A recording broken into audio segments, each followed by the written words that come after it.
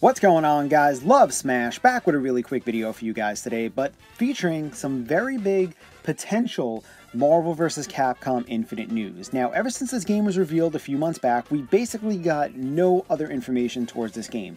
We got six characters revealed, a little gameplay shown off, some new features about the game, and that's been basically it. But that all may have changed within the past few hours. Two posts have popped up. Now, I want to bring up the first one. An article from Shoryuken.com has led some pretty interesting news, stating in a recent NeoGAF post, Rice, who's the same person who leaked the game in the first place, all those months ago back in um, late 2016, stated he mentioned a press conference for the game was recently held in Germany. Supposedly, there was an embargo on details revealed during the event that will be lifted by the end of this week meaning we could potentially see some reveals or at least some news for this game by the end of this week, which is really, really, really freaking exciting. I am hyped for this game. I know you guys are as well.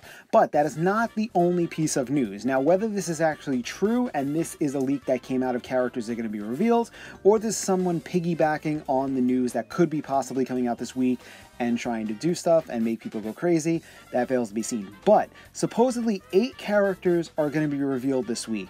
Now, seven of them are returning veterans. One of them is a brand new addition. Now, the list goes as followed with the first newcomer, who a lot of fans have speculated could be the boss character from this game, being Ultron.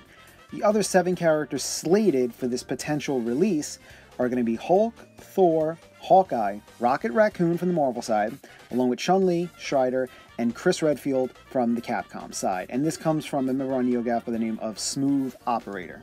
Now, whether or not this rumor or supposed leak is legitimate fails to be seen. Like every leak and rumor, I always tell you guys take them with a grain of salt, and nothing is officially proven until we actually see a reveal or really concrete evidence like photographs or video with our own eyes. But it does make me very hype, and I'm sure you guys as well, to see we could potentially getting eight characters revealed. Now, of course, with the exception of Ultron, none of these are newcomers, but a lot of fan favorites nonetheless. Hulk being there since the very beginning, you got Chun-Li as well being there since the beginning, Strider as well, big fan favorite character, Chris Redfield, Resident Evil series, you got Thor and Hawkeye for the Avengers, and Rocket Raccoon from Guardians, who was one of my favorite new additions from MVC3, or should I say Ultimate MVC3, and Guardian of the Galaxy Volume 2 is coming out, so it's a great publicity to include him and have him revealed when the movie is coming out in about a week or so.